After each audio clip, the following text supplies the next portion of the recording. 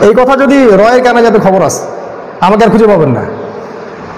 কারণ দেশটা চালায় র, দেশটা আমাদের দেশের গভর্নমেন্ট চালায় না। দেশটা অন্য জায়গা থেকে নিয়ন্ত্রিত হয়। একটা রেজলিউশনও পাস হয় না এখানে। সব কিছু বাইরে থেকে নিয়ন্ত্রিত হয়। বাংলাদেশের সবচেয়ে পরেশগার মানুষরা যদি এখন রাষ্ট্র ক্ষমতা দখল করে, সাত দিনও তারা টিকতে পারবে না। ওদেরকে সাত দিনও টিকতে দিবে না। যেগুলো নরম নরম ইসলাম, সেগুলো আপনি পালন করবেন, কোনো সমস্যা হবে। বউকে নিয়ে রাস্তায় ওই যে রাতের বেলা স্ত্রীকে নিয়ে হাঁটা সুন্নত। তারপরে হচ্ছে খাওয়ার পরে মধু একটু খাওয়া সুন্নত। আঙ্গুল চেটে খাইতে হয় প্লেট চেটে খাইতে হয়। হ্যাঁ ইভেন দাড়িও দাড়ি রাখাও সুন্নত। এইসব জায়গায় আপনাকে অনেকে হস্তক্ষেপ করবে না। কারণ এগুলো তাদের স্বার্থে কোনো আঘাত দেয় না। যে বিষয়গুলো তাদের স্বার্থে আঘাত দিবে, যেমন ইসলামী খেলাফত। কোন মুসলিম চায় না যে আল্লাহর আইন দিয়ে শাসন চলুক? কোন মুসলিম চায় না? সবাই চায়। শুধু সেকুলার মুসলিমরা বাদ দিয়ে।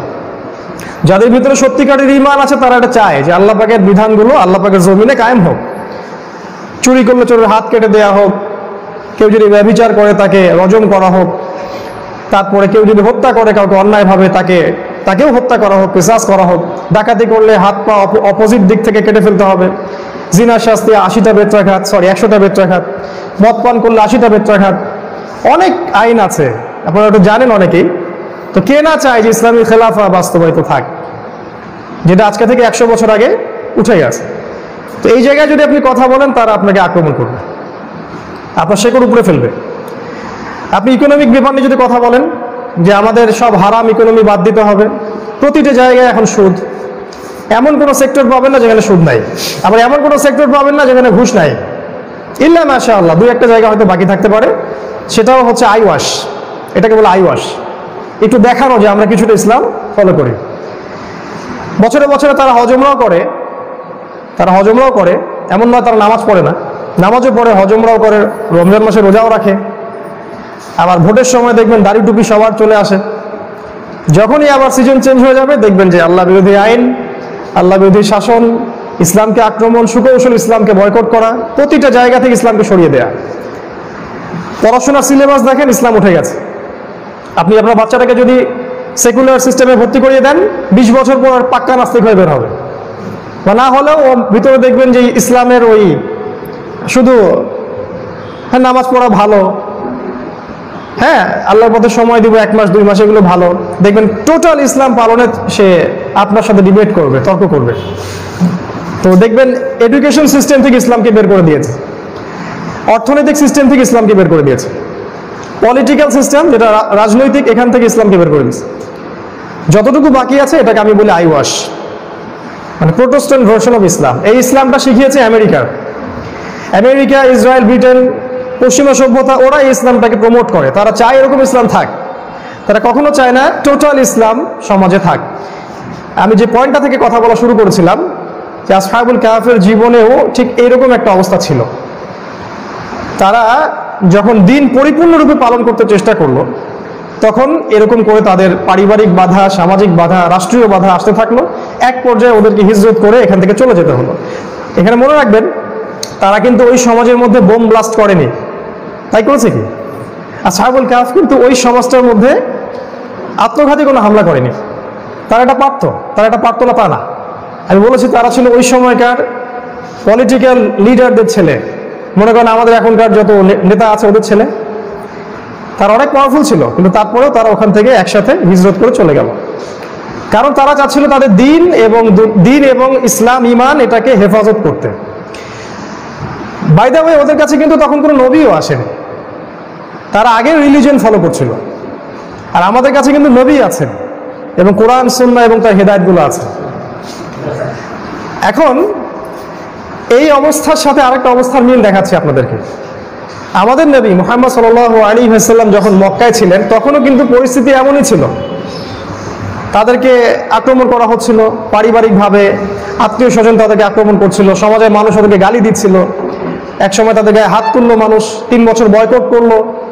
এহেন নির্যাতন নাই যেটা মক্কায় করা হয়নি এবং নবী হিসেবে সবচেয়ে বেশি নির্যাতন সহ্য করতে হচ্ছে আমাদের নবীকেই সাল্লাহ আলী হাসাল্লাম তারপরেও তিনি মক্কায় কোনো চোরাগুপ্তা হামলা চালাননি। আমি আপনাকে মনে করে দিতে চাই, তখন তার সাথে হামজা ছিলেন, তার সাথে উমর ইবুল খত্তাব ছিলেন, আবু বকর, উসমান, সাদ বিন আবি আক্কাস সব সাহাবিরা ছিলেন। তারপরেও কিন্তু তারা এই কাজটা করেননি। এখানে তেরো বছর তারা সবর করেছেন, তেরো বছর। এবং আমি যদি পয়েন্ট বাই পয়েন্ট বলি, দেখবেন যে এখনকার যে বাংলাদেশ বা এখনকার যে বিশ্ব, বাংলাদেশের কথা বাদ দেন, এখনকার যে পুরো বিশ্ব এই বিশ্বের যে মৌলিক সমস্যা আর মক্কার সমস্যা একদম সেম একদম সেম কোনো পার্থক্য নাই। বরং এখন আরও বেশি সমস্যা আছে। মক্কায় শিরিক ছিল, এখনও শিরিক আছে। যেখানে তাকাবেন সেখানে শিরিক। মুসলিম কান্ট্রির কথা বলছি। কিছু আল্লাহর বান্দার কথা বাদ দেন, তারা তাওহিদ বোঝে ইনশাআল্লাহ। তারপরে রাষ্ট্রীয় শিরকে ডুবে আছে। মক্কায় ছিল সুদ, অর্থনীতি ছিল সুদ ভিত্তিক এখন তাকান, বিশ্বের যে কোনো জায়গায় খালি সুদ আর সুদ।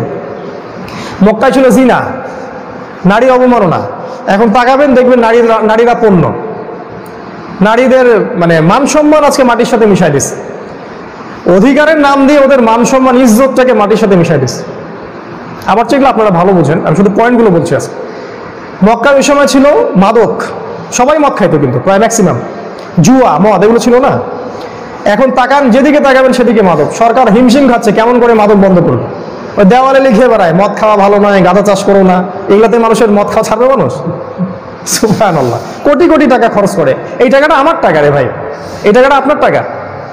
এই যে গভর্নমেন্ট চায়নার কাছ থেকে লোন নিল, কয়েক কোটি বিলিয়ন দেখেননি? কয়দিন আগে? ইভেন সেকুলাররা প্রোটেস্ট করল। সেকুলাররা বলল এটা নেওয়ার দরকার নাই। ইসলামপন্থীরা অবশ্য কিছু বলেনি এই বিষয়ে। তারা অনেক অন্য অন্য কাজে ব্যস্ত আছে অবশ্য। এই যে ঋণটা শোধ করবে পাঁচ পার্সেন্ট সুদ দিয়ে আপনি কি জানেন এই তিন তিন হাজার বিলিয়ন ডলারের পাঁচ পার্সেন্ট সুদ কত হয়? এই সুদের টাকাটা দিবে কে? সরকার দিবে? আপনি আমি দিব। তো ওই যে কিছু হুজুর দাড়ি টুপি রেখে গর্ব করে বলে, আমি সুদ খাই না, আমি একশো পার্সেন্ট মুক্ত। আপনি কখনোই একশো পার্সেন্ট মুক্ত নন। আমরা কেউই একশো পার্সেন্ট মুক্ত নই। এই যে সুদ মক্কায় ছিল, এখনও দেখবেন আছে ওই নারীর অবমাননা ওই সময় ছিল, এখনও আছে মদ ছিল, ওই সময় এখনও আছে শিরিক তো সব জায়গায় শিরিক। এখানে একটা কথা বলি। কিছু ভাই আবার মনে করেন যে শুধু কবরে সেজদা করাই শিরিক। আবার ওই পীরের কাছে নিজেরকে আত্মসমর্পণ করা বা তাবিজ ঝুলানো বা ছবি মূর্তি এগুলোকে সবাই শিরিক মনে করে। আরও বড় লেভেলের শিরক আছে ভাই। সেটা কি? আল্লাহর হালালকে যে হারাম করে এবং আল্লাহর হারামকে যে হালাল করে, এটা সবচেয়ে বড় শির সেটা মধ্যে আছে। তাহলে এইটা, এটা কারা করে? এটা কি হুজুররা করে? এটা রাষ্ট্রপ্রধানরা করে? বাংলাদেশে এমন কোনো আল্লাহর হালাল নাই যেটাকে হারাম করা হয়নি। আর এমন কোন আল্লাহর হারাম নাই যেটাকে হালাল করা হয়নি। সুদ হারাম, দেশে হালাল, মদ হারাম, দেশে হালাল, জিনা হারাম, দেশে হালাল। বাংলাদেশ তো একটা, আমি, আপনি বলতে পারেন খুব দুর্বল একটা রাষ্ট্র। বিশ্বের বড় বড় শক্তিধর রাষ্ট্রের কথা বলছি, ওদেরও একই অবস্থা একই অবস্থা। তো এই যে সিচুয়েশনগুলো ওই সময় যেগুলো ছিল, আসহাবুল কাফের সময়ে বা রসুল আসলামের সময়, আপনি যে কোনো নবীর যুগ দেখেন নূ আলাইসাল্লামের সময়, ইব্রাহিম আলাইসাল্লামের সময় এমনকি ঈসা ইসলামের সময় প্রতিটা যুগে যুগে একই একই অবস্থা ছিল। তো এই যখন অবস্থা ছিল তখন আল্লাহ পাক তার নবীদেরকে বলেছেন, প্রথমত ওই সমাজের মধ্যে থেকেই সবর করে তাওহিদ প্রচার করতে এবং সুন্নাত প্রচার করতে এবং ইসলামের দাওয়া ব্যাপকভাবে দেওয়ার চেষ্টা করতে। এই দাওয়া দিতে দিতে দিতে এক সময় কোন কোন নবীকে হত্যা করা হয়েছে, কোন কোন নবীকে জীবন্ত একদম করাত দিয়ে কেটে ফেলা হয়েছে, কোন কোন নবীকে মাটিতে পুঁতে ফেলা হয়েছে, কোন নবীকে পুরায় দেওয়া হয়েছে। কখনো একসাথে অনেকগুলো নবীকে হত্যা করা হয়েছে। সুরা ইয়াসিন পড়ে দেখবেন। এরকম নবীদেরকে সবর করতে হয়েছে। অথবা একটা সিচুয়েশন এমন ছিল যে নবীদেরকে আল্লাপাক শক্তিশালী করছেন। নবীদের দাওয়াত ওই কম কবুল করেনি, কিন্তু অন্য কম কবুল করছে। তখন তারা ওই কমের কাছে হিজরত করছেন। যেমন আমাদের নবী মোহাম্মদ সাল্লাহ সাল্লাম মক্কা থেকে মদিনায় হিজরত করে সেখানে ইসলামী রাষ্ট্র কায়েম করলেন। মক্কায় হলো না। হিজরত করে মদিনায় গিয়ে সেখানে কায়েম করলেন সেখানে তিনি ইসলামী আইন বাস্তবায়ন করলেন, ইসলামী খেলাফা বাস্তবায়ন করলেন সাহাবাহিকের কাছে বায়াত নিলেন এবং অন্য অন্য ধর্মাবলম্বী ধর্মাবলম্বী যারা ছিল ইহুদিন আসারা ওদের সাথে সন্ধি করলেন, যেটাকে আমরা মদিনা সনদ বলি। এবং সামরিক প্রশিক্ষণ দিলেন তার সাহাবিদেরকে, যুদ্ধের ট্রেনিং দিলেন। এক পর্যায়ে যখন তারা বদরে আক্রমণ করতে আসলো, আমরা তখন গিয়ে ডিফেন্ড করলাম। এই যে শুরু হলো সশস্ত্র যুদ্ধ, তার আগে কিন্তু অস্ত্র আমরা ধরিনি। আজকে ইসলাম মানেই জঙ্গিবাদ। একটা ভাইব ছড়াই দিছে আর কি। কত পরে গিয়ে আমরা অস্ত্র ধরছি। যখন তারা আমাদের তেরো বছর নির্যাতন করছে, আমরা ওখান থেকে চলে আসছি মদিনায়, এসে ইসলামিক স্টেট কায়েম করছি। তারপর তারা আমাদের মাল নিয়ে সিরিয়ায় ব্যবসা করছে। পরে যখন তারা আমাদেরকে আক্রমণ করছে, তখন আমরা গিয়ে বদরে ওদেরকে ডিফেন্ড করছি। এখন যদি পাকিস্তান বাংলাদেশে আক্রমণ করে, আমরা কি ডিফেন্ড করব না? যারা ডিফেন্ড করবে, ওই আর্মিটা কি জঙ্গি হয়ে যাবে? বাজে কথা ছড়ায় সমাজের মধ্যে। সুভান ইন্ডিয়া যদি এখন আমাদেরকে আক্রমণ করে কথার কথা।